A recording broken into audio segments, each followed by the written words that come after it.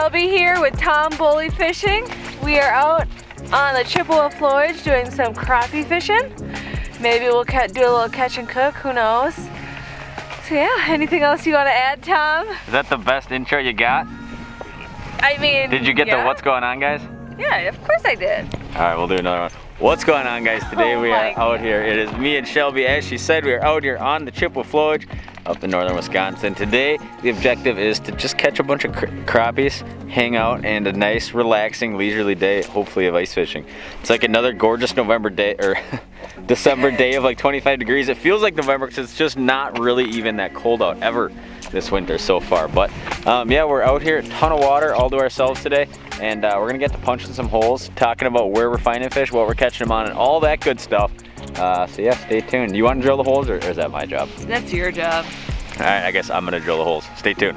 All right, time to get to drilling some holes. I've said it before and I'll say it again. I am a gas auger guy through and through. I might just be old school, um, but gas is just so simple to use. You get so many holes out of it and you can always bring a ton more gas with you. It's super easy to carry around. So if you're the kind of guy who drills multiple hundreds of holes a day, um, I'd highly recommend this combination right here. This is the Eskimo F1 Rocket and it's actually got a pistol bit adapter so it runs a synthetic bit. So it's just incredibly light. If you're like a 30 year old jiffy guy and looking for a new auger, highly recommend. Eskimo augers are pretty much all the same. You prime them like once or twice, turn it on, pull it, and they pretty much start first pull every time.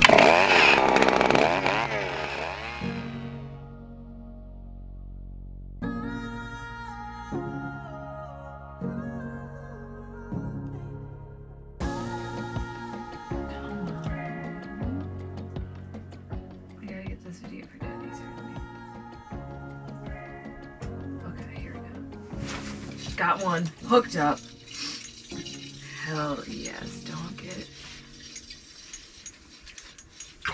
Yes, nice crappie, nice crappie. I'll give you guys a look. We're using Acme Google Eye Tungsten Jig with a plastic. Okay, look at that crappie. Nice one. I am happy with that. I'll take that all day. You just put him back. All right, holes are punched. This time to fish. We've been getting asked a million questions about this rod bag right here. This is the 2B Ice rod bag. I'll go ahead and link it down below. But most rod bags turn your stuff into a disaster. These ones do not. They make a long one and a short one for both their long rods and their short rods. And today we're fishing with one of the long rods. This is a 44 inch ultralight Elliott Evolution Series. And this is a long hole hopping outside rod. You guys have seen the, me fishing this a lot. Super handy for fishing outside. Some of you guys are probably like, wow, 44 inches seems like really long. Once you fish it, you will not go back to a short rod. All right, jig I'm gonna be using today. One of my absolute all-time favorites right here. This is the Acme Google Eye Tungsten in gold right there. And that thing is an absolute crappie panfish killer everywhere I go. I'll go ahead and link it down below, but it's got a little knocker in there for the eye. Tungsten so it falls real fast for some of these basins and then just tipping it with a little plastic. And uh, that will pretty much just about work anywhere crappies and panfish live.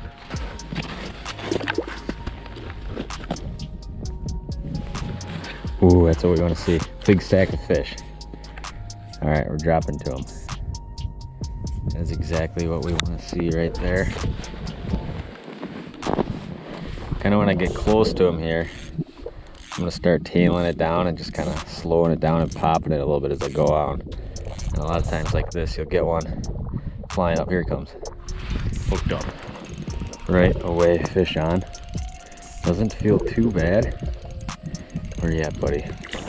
Oh yeah, look at that. that is what we are after today. Chippewa flowage crappies.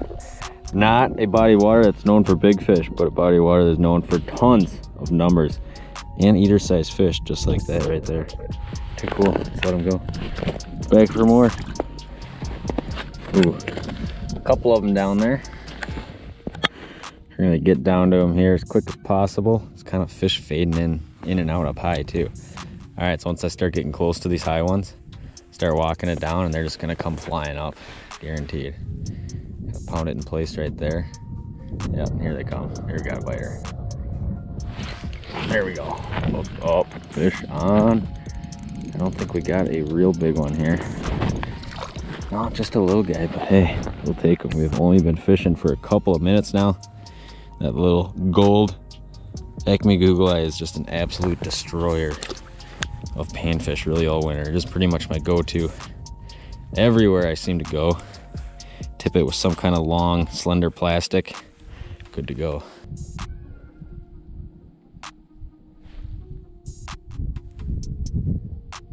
Oh, here we go. I'm Flying. Oh yeah, hooked up. Fish on. This is what I'm talking about. Fish after fish when you get on these big pods out here. Oh yeah, that's a nice one there. We'll take them like that.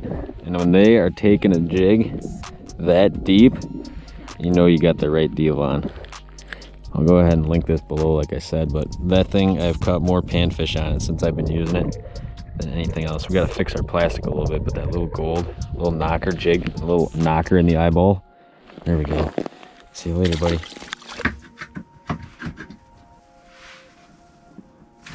Hooked up.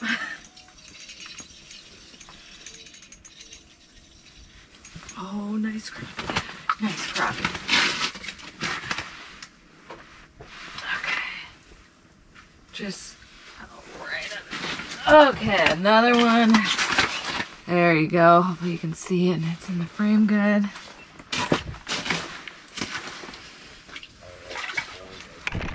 All right, so whenever we're doing this kind of basin crappie fishing like this, a lot of holes is incredibly important. And a lot of times we might drill like, let's say 25, 35 holes to start, kind of in an area. And then a lot of times what happens is we end up drilling another section of holes going another way. You know, kind of like, let's say we drill out this big grid and we're finding all the fish over here. Well, a lot of times we go and we drill more holes in that direction and then more holes closer together, right? A lot of times it's that first big set of holes to kind of find fish. And then once you find them to follow them around that basin, um, you know, then you drill a ton more holes kind of in that smaller area, right? And that's exactly what we're doing today. You know, we caught some fish right away. And now what we're doing is kind of expanding our grid and drilling a ton of holes. There might be, let's say, three stacks of 15 fish each that are kind of hovering in an area. So having holes very close together where you can just walk around with that flasher and check, check, check, check, check, and then find them in this hole and drop is very important. So you're not waiting for that time where those fish are in between two holes that are 10 yards apart.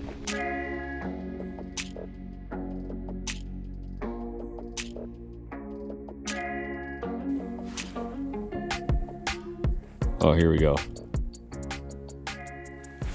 Got him. Hooked up. Big time up bite on that one. You can see how that fish kind of came in on the top of that stack of fish. There we go. Another decent little crappie right there. Nothing huge, but good eaters if you're keeping them.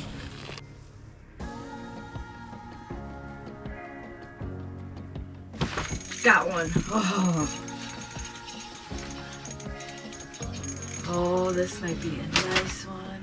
No, no, no, don't get tangled. Oh, oh. I thought I was gonna lose this one. I need to remember to take my little flasher thing out, my transducer out. Oh, look at this crappie. This would be a nice keeper. I am catching so many left and right so much fun. We are fishing a large basin, deep water holes. It's about 15 to 17 feet in depth. I'm um, just fishing about a foot above the bottom. And they, we are marking them like crazy.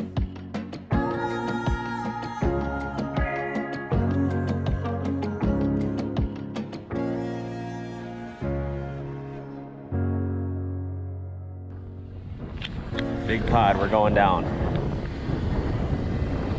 I want to start seeing some vertical movement here. Somewhere right about now. Oh yeah, here we go. A little pull away. Hooked up, look at that, right there. Heck yes. That is the funnest part about crappie fishing right there. Is the visual aspect watching them on the graph, teasing them up, making them eat. There we go, let's let them go. All right, we're dropping down. We got fish on the graph. Oh yeah, look at this. We're already getting some movement out of them. Bounce it in place. Little pull away, here we go. Oh yeah, right there. That is what I'm talking about. Fish on. Smoking them. Come here, buddy. Oh yeah, there's another nice one right there.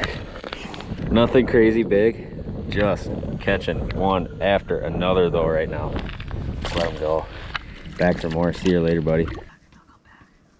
Here we go. Hooked up. Nice, that one. Fish Hopefully on. nice. Too much fun. Oh yeah. Nice one. Right there too. Well, I've been fishing outside the whole time, and apparently, if you come in the shack, you just catch a ton of fish, one after another. There we go.